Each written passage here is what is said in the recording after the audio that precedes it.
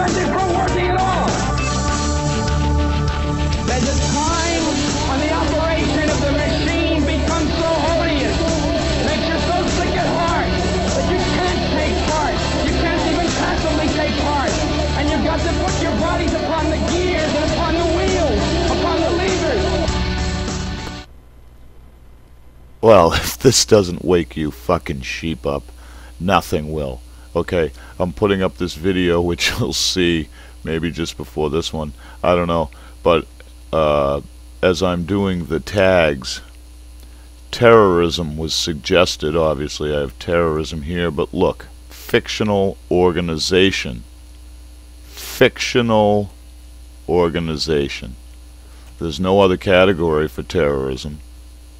So as defined by Google, who we know was started with CIA seed money both from the United States and Russia, th by their standards, terrorism is a fictional organization. Whether you know it or not, YouTube is an arm of the government. The government has defined terrorism as a fictional organization. Yet you pay for the TSA to molest your grandmother and your children. It's wonderful. You fucking sheep.